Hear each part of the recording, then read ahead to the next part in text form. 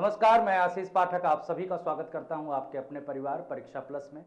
E M R S J की typing date आपकी आ चुकी है। काफ़ी बच्चे बोल रहे थे, सर टाइपिंग से रिलेटेड एक वीडियो बनाइए कि कैसे टाइपिंग होगी? क्या हमें कितने वर्ड का पैराग्राफ मिलेगा? स्पीड कैसे काउंट होगा? बैक स्पेस अलाउ होगा कि नहीं होगा? वर्ड हाईलाइट होगा कि नहीं होगा? तो उसके लिए आप पहले से माइंड मेकअप कर लें। अभी तो ई e की तरफ़ से कोई डिटेल टाइपिंग की नहीं आई है, लेकिन अगर देखा जाए कि आपका जो केवीएस है एनवीएस है और ई e इन सभी के जो एक पेपर का कंडक्ट जो दिया गया था, वो एनटीए को दिया गया। और एनटीए जैसे आपकी टाइपिंग कराई है केवीएस जैसे का इससे पहले आपकी टाइपिंग हुई थी तो उसी के बिहाफ पर मैं आपको बताऊँगा कि क्या क्या चांसेस हैं। बाकी कुछ बदलाव होता है वो नोटिफिकेशन जब भी आपका एडमिट कार्ड आएगा, उसके साथ आपका एक पूरा का पूरा नोटिफिकेशन इंस्ट्रक्शन जारी होता है। जैसे केवीएस में जारी हुआ था एडमिट कार्ड के साथ, वैसे ही आपका इंस्ट्रक्शन जारी होगा। वहाँ पे हम आपको फिर डिटेल बता देंगे कि कुछ चेंजेस हुए हैं कि नहीं। ये पूरी जानकारी आपके केवीएस जीएसए के एडमिट कार्ड जो पिछली बार एग्ज़ाम हुआ है, उसका जो टाइपिंग हुआ है, उसी के बिहाब पर है, उसी के अकॉर्डिंग है। तो चलिए हम बात कर लेते हैं, जो आपका टाइपिंग है, वो आप सभी को पता है। कि 15, 16, 17 मई को आपको दिल्ली में कंडक्ट कराया जाएगा। जो वेन्यू है वो All India Institute of Local Self Government A I L S G Sagarpur bus stop near landmark है आपको दिया गया जो दिल्ली में है। और सबकी टाइपिंग दिल्ली में ही होगी ये ध्यान रखिएगा। तो पहले से अपना अपना टिकट बुक कर लो। ये ध्यान लिस्ट में आपका दिया गया है कि किसकी टाइपिंग कब है तो उसके अकॉर्डिंग अपनी टिकट उकट बुक कर लीजिए। अब हम आते हैं कि टाइपिंग डिटेल में हिंदी और इंग्लिश ठीक है? अब क्या इसमें दोनों टाइपिंग करना है? नहीं।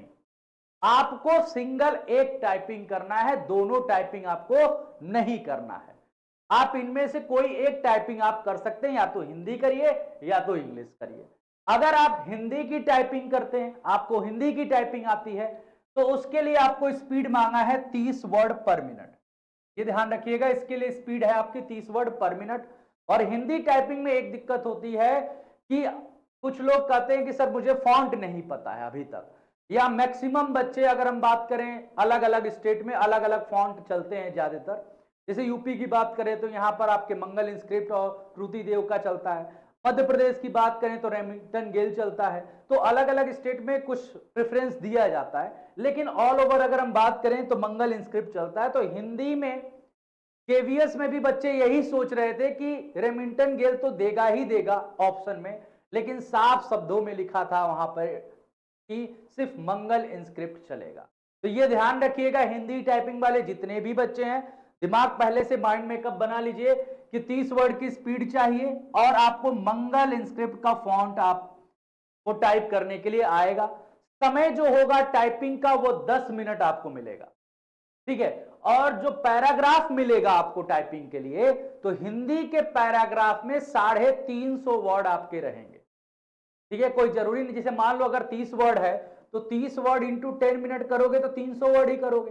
तो वो साढ़े तीन सौ वर्ड देता है एक्स्ट्रा बना के देता है। ऐसा नहीं कि जितना आपका है, उतना ही आए। तो वो एक्स्ट्रा आपका वर्ड रहता है। ये ध्यान रखिएगा आप सभी। अब एरर कैसे काउंट होगा, ये आपके जेएसए में भी नहीं बताया था कि एक्यूरेसी क्या चाहिए। एक्यूरेसी नहीं, वहाँ पर डिस्कस किया था, लेकिन जो नेट स्पीड आपकी ली जाती है, वही काउंट होगी और नेट स्पीड के दो फॉर्मूले होते हैं। वो दोनों में बता दूँगा। उसमें से दूसरा जो फॉर्मूला है, वही चांसेस हैं कि केंद्र में ज़्यादातर अपनाया जाता है। उसके बाद से अगर हम बात करें, देखिए, इसमें और है इंग्लिश या हिंदी टाइपिंग दोनों में से आपको एक करना है। दोनों नहीं करना है बार बार मैं बोल रहा जो इंग्लिश टाइपिंग वाले बच्चे हैं, उनको स्पीड तेज चाहिए थोड़ा 35 वर्ड चाहिए, क्योंकि इंग्लिश टाइपिंग आसान होती है। इसके में जो आपका पैराग्राफ आएगा, उसमें 400 वर्ड रहेंगे। टोटल 400 वर्ड रहेंगे। टाइम इसमें भी 10 मिनट लगेगा। फॉन्ट का कोई इशू नहीं होता है इसमें। नो इशू फॉन्ट का कोई भी इशू नहीं होता है कि आपको कोई पर्टिकुलर फॉन्ट पे टाइपिंग करनी है। जो भी होता है, लेकिन एक बात पहले से माइंड मेकअप कर लो कि जो जीएसए वाले बच्चों के साथ हुआ है, जैसे फॉन्ट बहुत छोटा छोटा दिखता है तो उसके लिए पहले से तैयार करना। कि हाँ एकदम बड़ा बड़ा फॉन्ट नहीं आएगा। एक, क्योंकि यहाँ पर जो स्क्रीन स्क्रीन पर आपकी टाइपिंग होती है। टाइपिंग जो होगी, वो स्क्रीन पे होगी डॉक्यूमेंट बेस्ड नहीं होगी। तो टाइपिंग होगी स्क्रीन पर आपके मैटर आएगा। जो मैटर होगा, वो स्क्रीन पर होगा। स्क्रीन पर आपका मैटर होगा। कैसे होगा? मान लो ये स्क्रीन है टाइपिंग की। आपको स्क्रीन है, यहीं पर आप छोटा सा आप देखोगे तो यहाँ मैटर होगा। यहाँ बॉक्स आपका बना रहेगा टाइपिंग का। जैसे यहाँ पे टाइप करते जाओगे मैटर आपका अपने आप स्क्रॉल करता जाएगा। तो मैटर जो होगा ऑटोमेटिक स्क्रॉल होगा। ऑटोमेटिक स्क्रॉल होगा। ठीक है? जैसे जैसे आप टाइप करोगे, यहाँ पे आपको टाइपिंग करना होगा। ये आपका टाइपिंग एरिया रहेगा।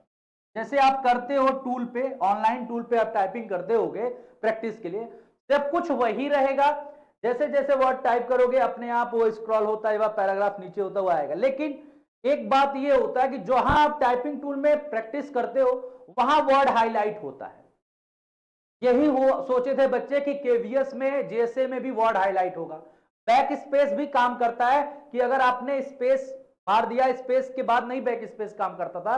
लेकिन अगर कोई वर्ड टाइप कर लो मान लो आपने टाइप किया आर ए, राम लिखना है, आपने आर ओ एम कर दिया। और अभी आपने स्पेस नहीं लगाया तो आप बैक स्पेस से इसको सही कर सकते हो आर ए एम कर सकते हो।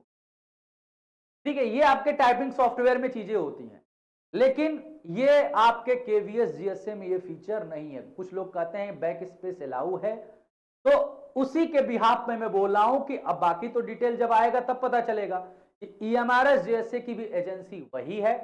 तो चांसेस यही है कि आपके वर्ड हाईलाइट नहीं होंगे बैक स्पेस भी आपका वर्क नहीं करेगा। इसके लिए माइंड मेकअप पहले से आप कर लीजिए। और क्या ज़रूरी इंफॉर्मेशन है? वही वाला। बैक स्पेस अलाउ है कि नहीं? तो नो बैक स्पेस आपका अलाउ नहीं है। ये ध्यान से सुन लीजिएगा। कई कई बच्चे यहाँ से सोचते हैं कि नहीं बैक स्पेस अलाउ है। हम कर लेंगे, गलत सही जो भी है तो मिस्टेक कम से कम करिएगा, नहीं तो आपकी नेट स्पीड डाउन हो जाएगी। ठीक है? उसके बाद से वर्ड हाईलाइट नहीं होगा। ये भी आपका क्या वर्ड हाईलाइट होगा? ये भी नहीं होगा। नो वर्ड हाईलाइट भी नहीं होगा। जो आप, एक होता है कि वर्ड हाईलाइट होता है तो टाइपिंग करने में आसानी होती है कि हम कहाँ पे हैं। हमें पैराग्राफ हमें लाइन पता चलती है। उस तरह से इतने छोटे स्पेस में हमें कंफ्यूजन होता रहता है कहाँ पे। तो इस कंफ्यूजन से जीएसए वाले बच्चे केवीएस में जूझ चुके हैं और कुछ बच्चे आप लोगों में से भी होंगे। जो दिए होंगे, वो खुद जानोगे क्योंकि मेरी वीडियो पड़ी हुई है केवीएस की, आप देखोगे वहाँ सब बच्चे कमेंट किए हैं ऑलरेडी कमेंट किए हैं कि सर ऐसा ऐसा हुआ था। हम सोच के गए कुछ और, हुआ कुछ और। तो उसी के हिसाब से मैं आप लोगों को तैयार कर रहा हूँ कि माइंड एकदम आपका सेट रहे, कि वहाँ पे सिस्टम आपके अचानक बंद भी होते रहते हैं। इसलिए स्पीड अपनी ज़्यादा से ज़्यादा रखो। जैसे आपका 35 मांगा है तो 50 रखो इंग्लिश हिंदी में 30 मांगा है तो 45 की स्पीड रखो। ताकि आपको कोई भी जो है, अगर लिच आता है वहाँ पर टेक्निकल तो उसके लिए आप तैयार रहो। तो ये आपका कंफर्म हो गया। अब स्पीड की बात करें, कि स्पीड कैसे काउंट होता है? तो बेसिकली दो तरीके होते हैं स्पीड आपके नेट स्पीड पे ही आपका होता है। नेट स्पीड ही आपको लिया जाता है। अब उसमें एक स्टेट लेवल पे मैक्सिमम ये आपके फॉर्मूले काम करते हैं, जहाँ टोटल टाइप करेक्टर जितना आपने करेक्टर टाइप किया उसको पाँच से डिवाइड किया जाता है, फिर टोटल मिस्टेक निकाल के जो टाइम आपको दिया गया है, उससे डिवाइड कर दिया जाता है।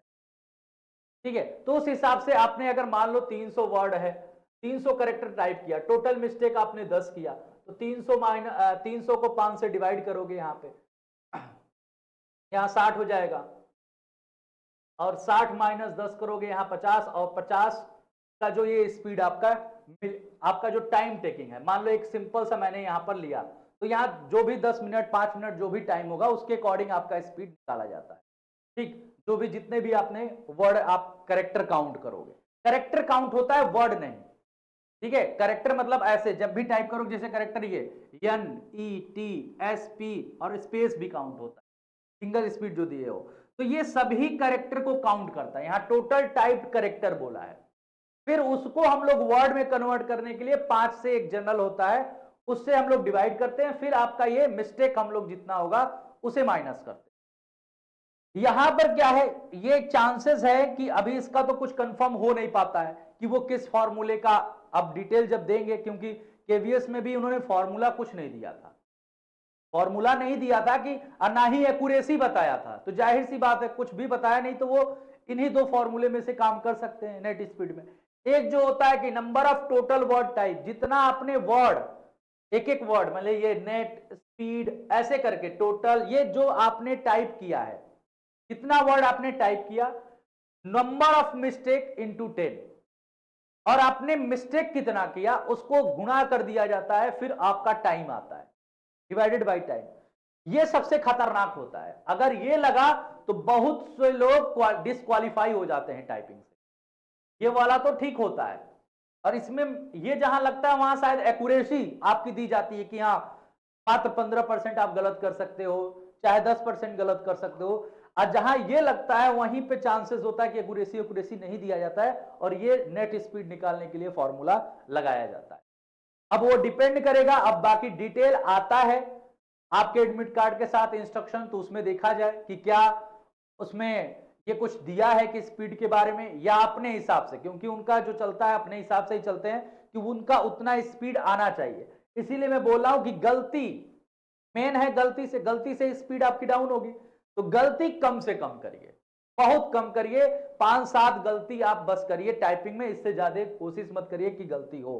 क्योंकि यहाँ ना बैक स्पेस काम करेगा, ना ही आपका वर्ड हाईलाइट होगा कंफ्यूजन बहुत होगा, गलती होने के चांस बहुत हो जाएँगे। आप जिस एटमोस्फेयर में टाइपिंग कर रहे हैं अभी, वहाँ बैक स्पेस भी अलाउ होगा और अभी आप हाईलाइट भी कर, देख रहे होंगे। तो कोशिश करिए कि जब टाइपिंग आप प्रैक्टिस कर रहे हैं तो ये आपके जो होते हैं फीचर्स इसको डिसेबल कर दीजिए।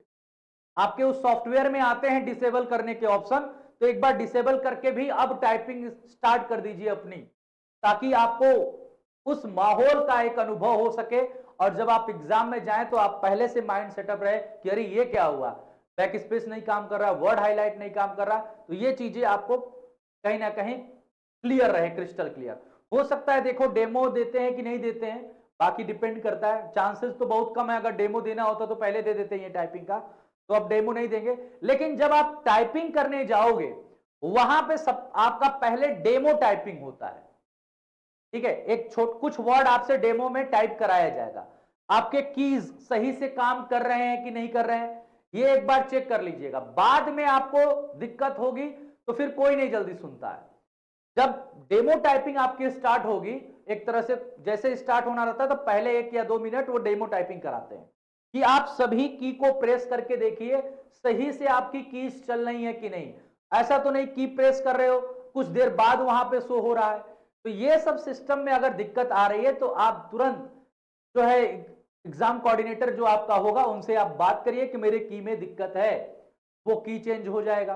तो इसीलिए वो डेमो टाइपिंग कराई जाती है। तो उसके लिए पहले से आप तैयार रहिएगा। तो बाकी जो भी आपके और डाउट हैं टाइपिंग से रिलेटेड वो कमेंट में करिए, मैं कोशिश करूँगा उसे भी क्लियर कर दूँ। लेकिन मैक्सिमम जितना हो सकता है, वो मैंने आपको बता दिया जो ज़रूरत है आपकी ठीक है कि इसमें से दोनों में से कोई एक टाइपिंग करनी है।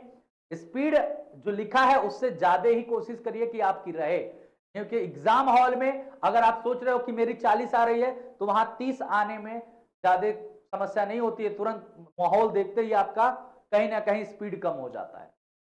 इसीलिए स्पीड हमेशा 10-15 ज़्यादा ही रखो, जो आपका मांगा हुआ है। ठीक? तो इसी हिसाब से इतने ही पैराग्राफ लेकर आपसे टाइपिंग स्टार्ट कर दो। बाकी जैसे एडमिट कार्ड आप लोगों का आता है, उसमें जो इंस्ट्रक्शन होता है, उसके बारे में मैं ज़रूर बताऊँगा। चांसेस यही है कि 90 परसेंट यही चीज़ें रहें, क्योंकि एनटीए ही करा रही है तो उसकी टाइपिंग में यही सब चीज़ें चलती हैं। बाकी आपकी जो परेशानियाँ होंगी, आप कमेंट बॉक्स में ज़रूर बताइएगा, हम पूरी कोशिश करेंगे उसका समाधान करने की। चलिए इसी के साथ मैं आप सभी से विदा लेता हूँ। मस्त रहिए, स्वस्थ रहिए, ज़बरदस्त रहिए।